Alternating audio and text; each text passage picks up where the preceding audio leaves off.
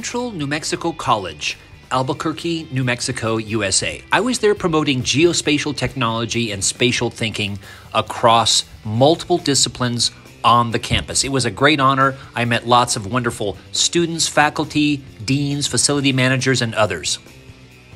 As an example, here is Professor Wald teaching geography. The campus takes sustainability very seriously, as evident in these posters and these wonderful buildings of theirs. Central to sustainability and resiliency and equity is the use of geotechnologies and spatial thinking in campus research, operations, and in teaching. For example, at Central New Mexico College, a group of mathematics professors got together with me and we brainstormed and demonstrated and modeled how to teach mathematics with geotechnologies. That doesn't happen on every campus.